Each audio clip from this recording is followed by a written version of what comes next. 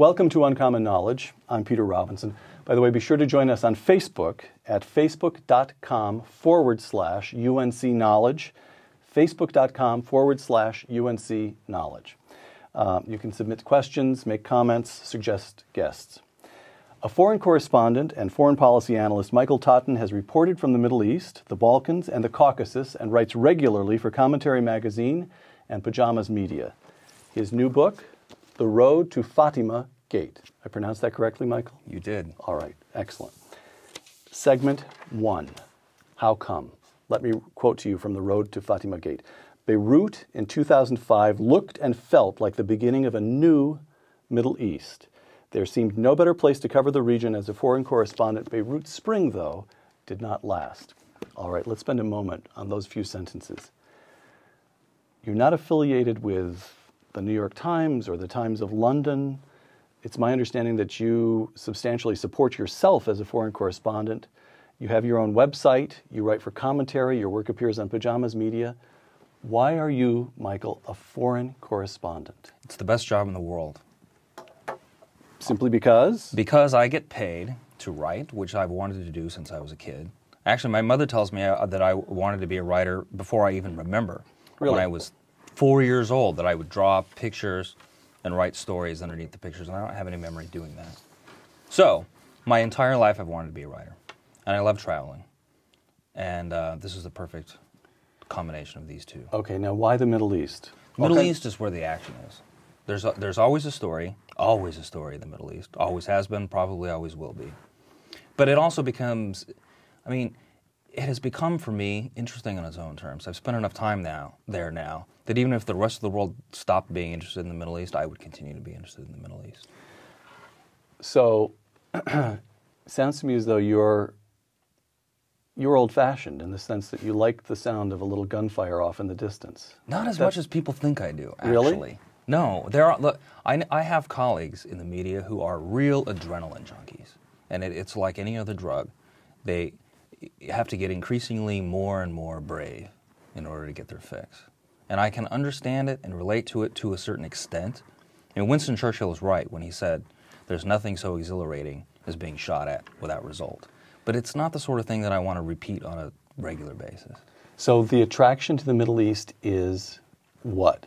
With our mutual friend Christopher Hitchens. By the way, Christopher Hitchens gives you a wonderful blurb on the cover of the book. It is extremely rare, writes Hitchens, to read such an accurate account of anything to which one was oneself a witness.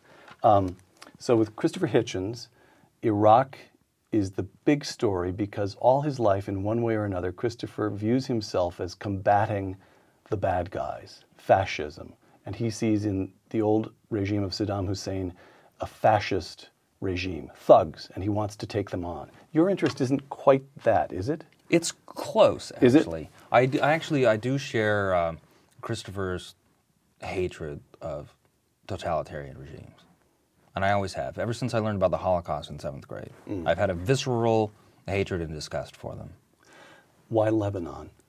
Lebanon in 2005, during the revolution against the Syrian military occupation of the country, looked and felt like an Arab version of Berlin in 1989. That's how it looked, that's how it felt, that's what a lot of us thought it was. As it turns out, it was more like Budapest in 1956. But at the time, this was not clear. Things looked good, but it was about to get much worse. And your prior history, so you moved back to Lebanon in 05. 05. Yeah. And your prior history with the country, you'd been in and out to report. Had you, you had lived there or you had not lived there? Uh, Well, I had visited during, during the Cedar Revolution in 2005. I see. And I knew after about two weeks that I was going to really miss this place when I was gone, and that I might want to come back for a longer stay. All right. Cedar Revolution of 2005. Um, Prime Minister Rafiq Hariri is assassinated, and soon afterwards, I'm quoting again from The Road to Fatima Gate, quote, about a million people in a country of just more than four million descended on Martyrs Square in Beirut and demanded the immediate termination of Syria's military occupation. The story captivated the world. Just go through the basics here. Why did the assassination of the prime minister lead to a quarter of the populations turning out in the streets for uh, demanding demanding something. What, what was going on? Explain that. Okay, let me first back up and talk about the demographics of the country for a second. All right. Le- Think of Lebanon basically as divided into threes. W- Roughly one third is Christian, another third is Sunni Muslim, and another third is Shia Muslim. And the politics in the country are and have always been sectarian. So Rafi Hariri was the former Sunni prime minister, and he was going to run for the prime ministership again, and he was probably going to get it. And he was the Syrians wanted him to be prime minister when they began their occupation in the early 90s because he was techni- he was competent with the country's economics. But he increased, grew increasingly disgruntled with the fact that he had to answer to Syria if he's the prime minister of the country. And, hi and the community that he led within the country, the Sunnis, Sunnis. were also increasingly disgruntled with the Syria's occupation. And the Christians had been disgruntled with Syrian They were never occupation from the the very first beginning. place. They All were right. never gruntled. All right. The only group in the country that supported the Syrian occupation were the Shia Muslims. Not all of them, probably two thirds of them, because the Syrians supported Hezbollah, and Hezbollah is a Syrian militia. And so the Christians had always been against the Syrians, and as soon as the Syrians decided they were going to assassinate the leader of the Sunni community, both the Christians and the Sunnis came out against the Syrian occupation at the same time. So two thirds of Lebanon was openly against Damascus for the first time since Damascus came to Beirut. Okay. Segment two What makes Lebanon Lebanon? You've just described the Cedar Revolution. Let's go. I'm a little leery of this because this happens so often in discussions of the Middle East. Let's go back a thousand years. A Thousand years. Not quite a thousand years, but again, let's let's lay out what Americans need to know. By the way, I'm a perfect subject for this because my ignorance is approaching the total. What Americans need to know to comprehend in at least a basic way Lebanon. Let me quote to you from the Road to Fatima Gate. There was the dirty little secret in Lebanon everyone understood perfectly and few Westerners wanted to think about. Politics were dangerously split along a fault line more than a thousand years old. Now, you've just said that Lebanon was divided roughly in threes on mm-hmm. sectarian lines. Elaborate a little bit. Okay, the thousand year old fault line. It's actually thir- about 1,300 years. Very shortly after the establishment of the Islamic religion, there was a power struggle. And what happened is the Shias, who we think of w- the Shia Muslims, which are 10, about 10% of the Muslims worldwide, supported the losers in the power struggle. And who are now the Sunnis, supported the winners in the power struggle. And they have been divided ever since. So this is a group that's not good at letting bygones be bygones. Neither one of them are. Nobody in the Middle, and it's not just the Sunnis and Shias. In the Middle East, everybody has long memories in this part of the world. Okay, so give us something. This is not like Protestants versus Catholics in, say, Kansas, where everybody gets along with everybody Right. else. It's more Protestants versus Catholics in Ireland during the peak of the Troubles. Yes, that's exactly what it's It- the, like. the divide is cultural, religious. They, they hate each other or they're able to live with each other. Give us some way of grasping how, how serious the rift is. Sometimes they're able to live with each, other, with each other, but they never really like each other. And the rift is that the communities are defined by religion, mm-hmm. but it's not necessarily a religious fight.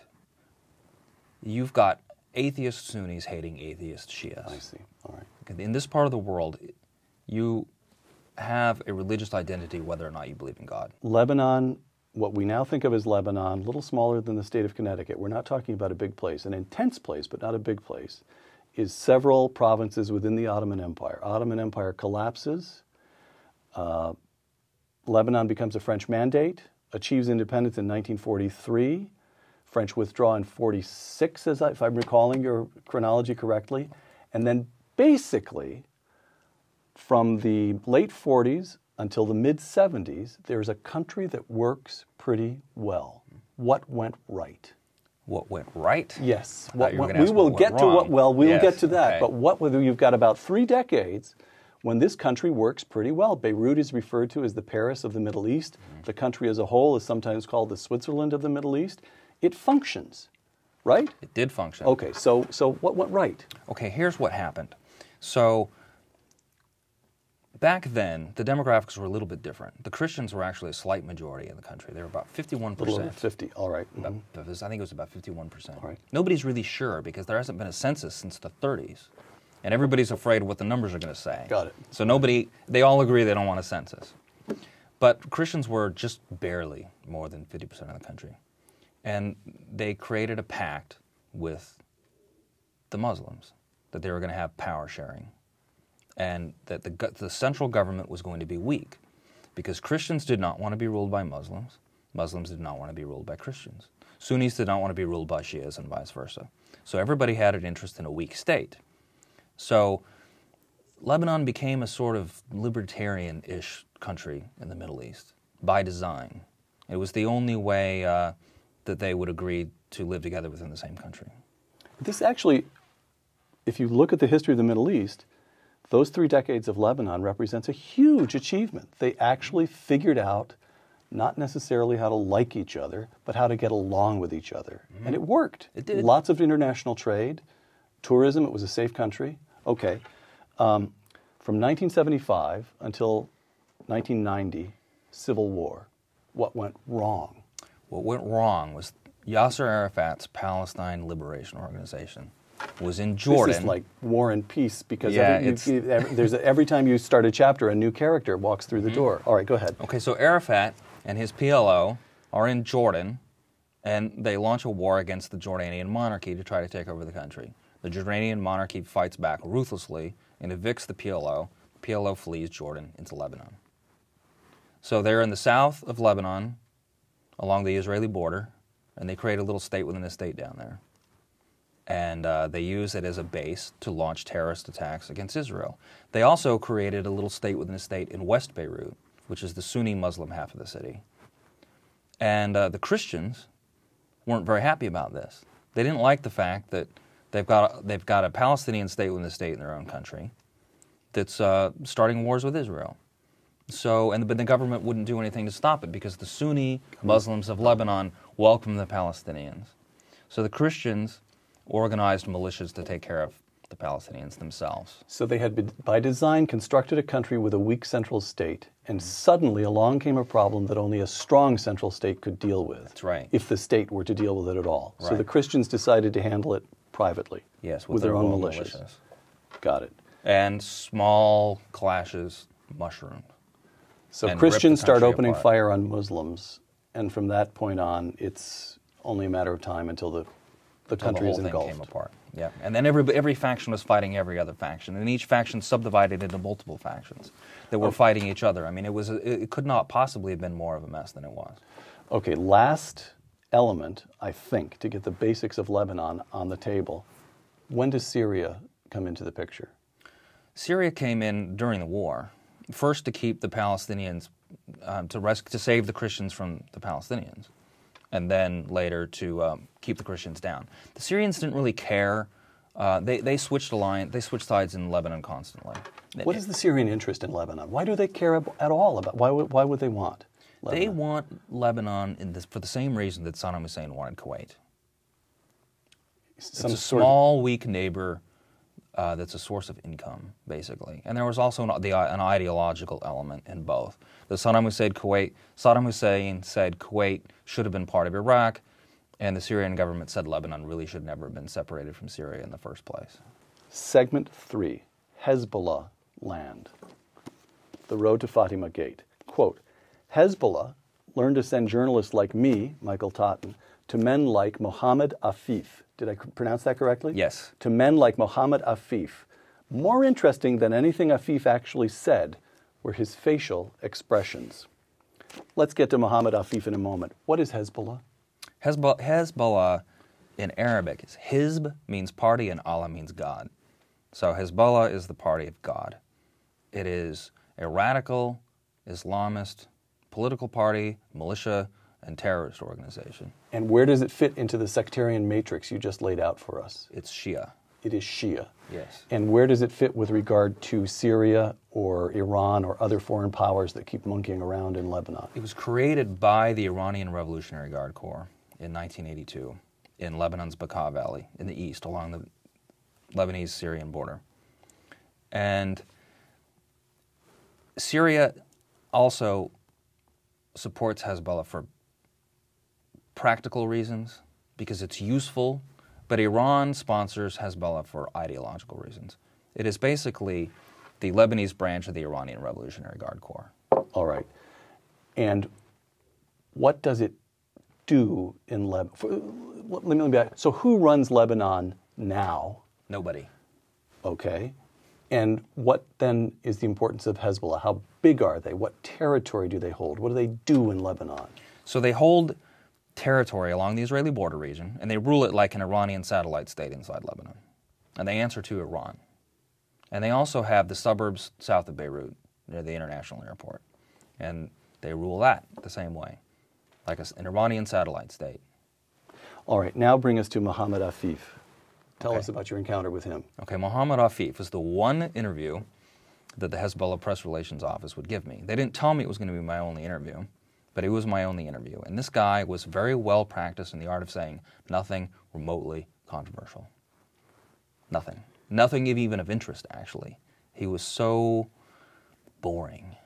So, Michael, you turn up and say, "I'm a." You know this is a terrorist organization. Mm-hmm. You know they report to Iran, and you treat them as if they're the Red Cross or the League of Women's Voters, just to see what would happen. You knock, knock, knock. May I have an interview? And they give you Mohammed Afif. That's right. All right. Um, so he, he gives you a series of bland interview, or it gives you a very bland interview, and then something happens, and I'm going to quote again the Road to Fatima Gate. Here you are quoting a phone call that you suddenly get from Mohammed Afif. You insulted Hezbollah, he said. Who do you think we are? And then he said something I won't ever forget. We know who you are.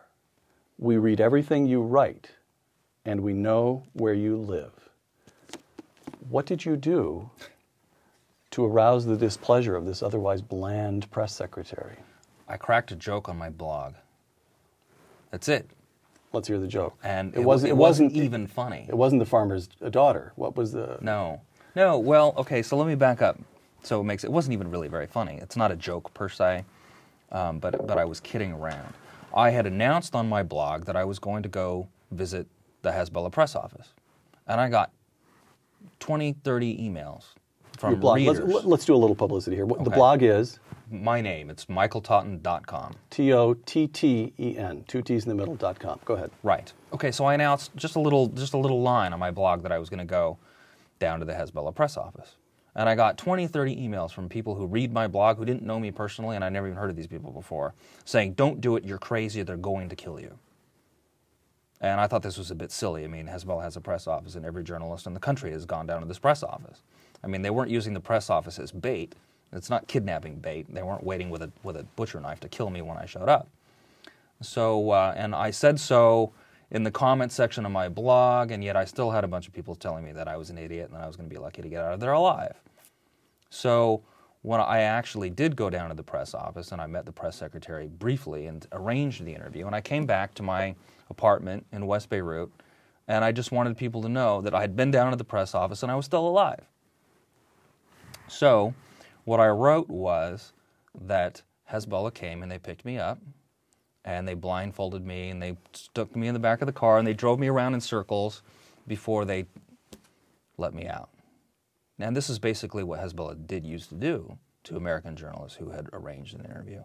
Did And- you did you put it, end it with one of those little emo- smiley face emoticons? I didn't, but You the didn't. next sentence, the first sentence in the next paragraph, I said, I said, actually, that's not what happened at all. I just took a taxi down to the press relations office. I mean, it wasn't, Okay, so the initial experience wasn't really even very different if, than if you were going to meet like the press secretary for the Republican Party or the Democratic Party in the United States. And I said this very clearly. Okay, so you established beyond doubt that Hezbollah cannot take a joke. Yes. All right, once again, the road to Fatima Gate.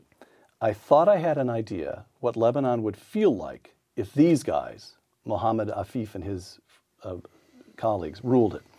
Lebanon in 2005 was a libertarian's paradise. Under Hezbollah, it would be a bigoted, authoritarian, gender segregated, micromanaging bully state. Close quote. Explain that. So before I was threatened by Hezbollah's press office, I was invited to an iftar, which is what it's, it's the meal after sundown during the month of Ramadan when Muslims are supposed to fast when the sun is up. Right. So I was invited there with a photographer colleague of mine, and we went to this event, and it was gender segregated. Men had to sit on one side, and women had to sit on the other side. And my colleague well, let me back up for a second. We had to submit photocopies of our passports in order to get into this event. to which you'd been invited. to which we'd been invited, but All we nevertheless had to submit photocopies of our passports. Right. Just the front page with our name and Right. and uh, our photographs. So we submitted these. They let us in, and somebody in Hezbollah security went through these photocopies of our passports and found that my photographer colleague's middle name was Isaac. which sounded Jewish to them. Yes. A name from the Old Testament. All right. So he and I were detained, screamed at, threatened, interrogated. Not me so much. I was told that I could leave at any time, but I stayed with him because I went there with him. He was actually my roommate. I wasn't going to leave my roommate when we were there together and, and grabbed at the same time. And he was interrogated. I mean, it was, it was an Inquisition style interrogation. And it was because his middle name was Isaac. This was clear. They thought that he was Jewish. And they suspected that he might be Israeli, just for this reason, for this reason alone. And he and I were both blacklisted for life because of this. This was before, before Hezbollah ever threatened me. Does Hezbollah want to run Lebanon? Yeah, they do. They know they can't. It's not realistic, and they know that they are not going to be able to rule over Christians or Sunni Muslims with an Iranian style government. They would like to, but they know they're not able to do so. Still, their day to day operative impulse is to expand their power. Yes. Got it. Segment four The View from Israel. One of the four principal goals listed in the Hezbollah Manifesto of 1985 quote, quote, Israel's final departure from Lebanon is a prelude to its final obliteration, close quote. Now, by now, a lot of people in the Middle East have learned, a lot of Muslims in the Middle East have learned to live with Israel. Egypt, by far the most populous Arab country, we'll see how the new, how it plays out in coming days, but for more than 30 years, Egypt kept the terms, roughly, of its peace treaty with Israel. Why not Hezbollah? Hezbollah is extremely ideological. The government, of, the government of Egypt has not been ideological since Gamal Abdel Nasser died. 54, Yeah, late maybe, something like that? I don't, remember, exactly the date, It was in the 50s. a long time ago. Egypt has had a pragmatic, non ideological military regime since then. And Egypt lost a number of wars with Israel. The Egyptian army lost the wars with Israel, and the Egyptian army has been running Egypt. And the Egyptian army wasn't really particularly interested in another go around. So, well, we'll come back to this, but what you're saying is that Hezbollah, from this distance, one of the big questions for Americans when they look at the Middle East is what motivates these people? And broadly speaking, one large argument is all they want is normal lives. They want the trash collected, they want good jobs, they want a chance to build homes with running water and good hygiene and give their children a good education. And broadly speaking, the other school of thought is no, they don't. They really want something the reestablishment of a caliphate, some sort of 12th century style theocracy. What you're saying is that this second school of thought is correct, at least as it applies to Hezbollah. They don't want some sort of modern functioning democracy. They want, what do they want? They want an Islamist state and they want resistance. Resistance is like the core of their ideology. Resistance against Israel, against the United States, against the West, against Sunni Muslims, against Christians, you name it. They hate basically everybody who's not themselves. Now, the Fatima Gate is a long closed border crossing between Lebanon and Israel. The road in the road to Fatima Gate, you reach the Fatima Gate and you spend some time on both sides. You describe a conversation you had with an Israeli lieutenant. This is shortly before the Israeli Hezbollah war of 2006. Quote, Every day I wave at Lebanese, Lebanese people, he said. Do they ever wave back? I said, uh, Not usually, no. Do you know why? I asked. Because waving hello to an Israeli is treason. What does it cost Israel? What does it do to Israel to know that southern Lebanon is, at this stage, I think you have to say, more or less permanently controlled by an organization dedicated to Israel's obliteration? What does that do to the. To, what, what, what defense burdens does it impose on the Israeli defense forces? What does it do to, to the Israel, Israeli public opinion? Israelis feel seriously under attack. They always have felt under attack since the nation state was founded. And Lebanon, I think, frightens them more than any, any than anyone else or anything else, because here you've got uh, controlling the northern border a organization that is a political party, a militia, a terrorist organization, and in some ways a conventional army. It's all of these things at the same time. And they have a missile arsenal that is bigger than what most national armies have. And Hezbollah has actually succeeded in fighting the Israelis to a standstill. Okay. No one else has ever been able to do that. This brings us 34 days in July and August of 2006. There's war between Israel and Hezbollah paramilitary units. Some 1,200 dead, mostly Lebanese. 1 million displaced Lebanese moved north from the southern tier of the country. Perhaps 300,000 displaced Israelis. Two quotations from the road to Fatima Gate. One, most Israelis were convinced, this is you in your own words, most Israelis were convinced that they had either lost or that the conclusion in the war was at best a draw. Almost everyone in the world seemed to believe that. That's quotation one. Here's quotation two. And here you're talking with Michael Oren, who was at the time a spokesman for the Israeli Defense Forces and is now the Israeli ambassador to Washington. Quote, quoting Michael Oren Hezbollah's command and control south of Beirut is completely gone. We killed 550 Hezbollah fighters south of the Litani River out of an active force of 1,250. Hezbollah claimed South Lebanon would be the graveyard of the IDF, Israeli Defense Forces, but we lost only one tenth of 1% of our soldiers. Most Israelis believe that something went terribly wrong in that war. Michael Oren says, look at the statistics. It was a military victory for us. What's going on? Well, Oren is right. It was, if, if you compare Israel and Hezbollah with the same criteria, Israel clearly won the war because Hezbollah took many, many times, orders of magnitude more casualties. And South Lebanon absorbed far more physical destruction to buildings and infrastructure than northern Israel did. But the two countries, or I shouldn't, Hezbollah is not a country. The two sides, two forces, two sides, sure. the two sides are not judged with the same criteria. Hezbollah says that it won the war because it's still standing, which actually is, like I had said earlier, the only Arab fighting force that has ever fought Israel to a standstill. So it does look like, from its point of view, like it has won a war with Israel. Why did Israel accept the standstill? Why didn't the IDF go into southern Lebanon and clean it out? I don't think it's possible, actually. As a military matter, you can't get to them because they're operating in a civilian uh, population. Yes, and they're a guerrilla army. They're a terrorist army. They're also a guerrilla army. Israel, if Israel wants to clean out South Lebanon, it's going to have to fight a counterinsurgency. We know how hard counterinsurgencies are. We've been fighting the Taliban in Afghanistan for how long now? Ten, Ten years. years. Ten and we're not years. done.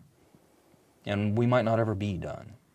Israel fought Hezbollah in South Lebanon from 1982 to 2000 and failed to get rid of Hezbollah for 18 years. So, why the Israeli government thought that it could get rid of Hezbollah in one month after failing to get rid of Hezbollah in 18 years is quite honestly beyond me. Segment five, the solution. I should try to indicate a question mark in, in my intonation there. In the road to Fatima Gate, you rec- this is near the end of the book, maybe about three fifths or four fifths of the way through the book. You recount a discussion you had with Walid Jumblat. Am I pronouncing that correctly? You are, yes, that's All right. correct. Walid Jumblat, who's the leader of the Druze minority. This is a, about a uh, to simplify things, you left this out when you were talking about the sectarian divide, but the Druze Right. are about a quarter of a million or so in a population of four million. Right. So, what do you think the solution is? I asked. I'm quoting the book. The solution is not in Lebanon, he said. The solution is in Tehran. Is he correct? Yes. Yes, he is correct. Because Hezbollah is controlled by Iran. It is the Mediterranean branch of the Iranian Revolutionary Guard Corps. It's like an overseas brigade of the, Iran, of the Iranian Revolutionary Guard Corps in Lebanon. Uh, the Obama administration is eager to draw down our troops in Iraq. They want out and is refusing to put boots on the ground in Libya. They don't want in. Walid Jumblat, once again quoted by you in The Road to Fatima Gate, making the Americans totally withdraw from the Arab world would be a mistake, would be a disaster for the moderates in the Arab world. The radicals and the Iranians would win. Close quote. Explain what he means by that, and then tell us what you, whether you agree with the reasoning. I do basically agree with his reasoning. His reasoning is that the United States, and okay, first of all, he said this. Let's see, which year was it? He said this. This must have been 2000. Oh, I don't have the date written down here. I'm That not sure. sounds- this- I don't certainly after the war. It's- it's it was. right. It was during. It was during when we were still fighting a hot war in Iraq. So maybe it was 2006. It was either 06 or 07. The United States military was the only force fighting Iranian power in the Middle East at the time. No one else. No, there, there, there's no one else willing to do it. So if it wasn't us, it was going to be nobody. That that was his point. That was his point. Yes. Is that strictly speaking true? There is the other argument. There is the argument that if the United States had just stayed out, sooner or later, the Saudis, possibly the Egyptians, the Egyptians have population, the Saudis have immense wealth. They certainly can buy any military equipment. They have a lot of military equipment. Sooner or later, they would have felt it, they would have taken it into their own hands and done what they needed to do. We should have stayed out of it. It's not our region. It's a violent, difficult, just the way you, you, took uh, several minutes just to begin to explain the basics, the basics in Lebanon, and it's a ver- and that's the way politics are throughout the Middle East. There's no way we can master them. Leave it to the people in the Middle East. What do you make of that argument? Well, I have some sympathy for the argument. I mean, the Middle East is a mess. It's going to be a mess no matter what we do. If uh, anyone asks me what, what I think the solution is, well, I will have to say that there isn't one. I mean, I've asked myself. uh, I've next asked, question. I've asked Middle Easterners over and over again in Arab countries and in Israel. So, what's the solution? Nobody has. Nobody proposes a solution. Nobody even believes there's a solution. The very question is American. Nobody in the Middle East thinks there's a solution. But we do have interest in the Middle East, whether we like it or not. I mean, what, what happens in the Middle East, Middle Eastern politics affects the United States. Okay. We learned this on September 11th. Also, um, if the Iranian government dominates the Persian Gulf the way it wants to, then it's going to be able to set whatever price for oil that it wants to. And because the Iranian government is implacably hostile the United States and the West, they could do significant damage to us, uh, very significant damage to us, Okay. eco- economically. You are constructing, I think, an argument that leads, I think, inevitably to a certain conclusion, but let me push it a little bit. If the solution lies in Tehran, question can the, Isra- can the Israelis handle Tehran on their own? I don't know. You don't know. I don't know. I don't know if they know. I've asked Israeli military and government and intelligence officials if they are able to stop Iran's nuclear weapons program and if they are willing to stop Iran's nuclear weapons program. And I get different answers from different people. And I don't know who's right. So if there is even a serious doubt that the Israelis can handle it on their own, then we must. Isn't that the conclusion? I would agree. Some people wouldn't because they don't want to they don't want to go there. And I understand very well why they don't want to go there. Okay. Um, listen, the Arab Spring of this year took place after you'd completed the writing for the Road to Fatima Gate. Let me ask you about that very quickly. So, Tunisia, then Egypt, you get popular uprisings that overthrow strongman governments. In Libya, where rebels, as we tape this, are still struggling to topple Gaddafi. All this was in some ways reminiscent of the Cedar Revolution in Lebanon in 2005. As you argue in the Road to Fatima Gate, the Cedar Revolution came to nothing, essentially, correct? Yes. All right. So, what do you expect to happen in Egypt? I don't expect a good outcome for Egypt. I don't know Egypt nearly as well as I know Lebanon. I've only spent a, a week there. I'm by no means an expert in Egypt, but I, I had an apartment in Beirut when I went to Cairo, and I had a terrible feeling in the pit of my stomach when I went from Beirut to Cairo whatever happens in Egypt is not going to end well. And I spoke to some Egyptian liberals, I say liberal in the generic sense of the word, who were a lot like Lebanon Cedar revolutionaries, the same kinds of people with the same sorts of political views. But they told me that they were only maybe 5 to 10% of the country. And, that- what Lebanon would demonstrate is even if you're 25% of the country, all these good, uh, idealistic, good human beings march in the streets. A relatively small but dedicated and brutal core of Islamists can trump even a huge proportion of the country. Is that Yes, that's absolutely correct. so? You'd expect the Muslim Brotherhood or some other some permutation of Islamism to win out eventually in Egypt. Is that right? Yeah, I could be wrong, but yes, that's that's the, that's that's the feeling that I had while I was there, and I have not yet been argued out of it. Three final questions, and we're running out of time, so I'll give you a sentence or two on each. How's that? Okay, sure. Any Republicans making sense to you in talking about the Middle East, particularly presidential contenders? I'm not paying the slightest bit of attention to what any of them are saying. I so I'm thank you sorry, for an honest I answer. not I know. thank you for an honest answer. The Obama administration strikes you as naive, duly realistic. Where would they be on that spectrum? I would put them on the naive end of the of the spectrum. All right, last question. Five years from now, things as I have the feeling that things move quickly in the Middle East. The, Yeah. the road to Fatima Gate suggests that. Five years from now, will Lebanon have moved further toward becoming, in your words, a bigoted bully state? That is to say, will Hezbollah and Iran have more power over Lebanon? Or will it somehow have found its way back in the direction of that libertarian's paradise of 2005? I think Lebanon is doomed until there's new governments in Syria and Iran. That there's no way that Lebanon's going to get out of this on its own. Michael Totten, journalist and author of The Road to Fatima Gate, and the author, I should also add, of michaeltotten.com. Thank you. Thank you, Peter. For Uncommon Knowledge, I'm Peter Robinson. Thanks for joining us.